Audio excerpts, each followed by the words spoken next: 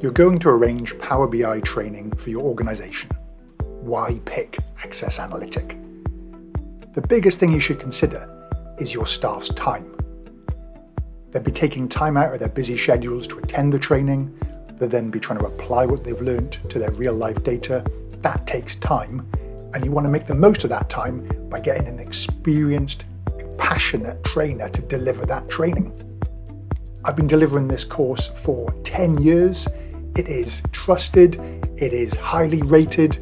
I'm passionate about the topic, I keep up to date it is practical because I am a Power BI consultant. So before you consider doing any other course, just consider these questions. Does the trainer and does the course meet these elements?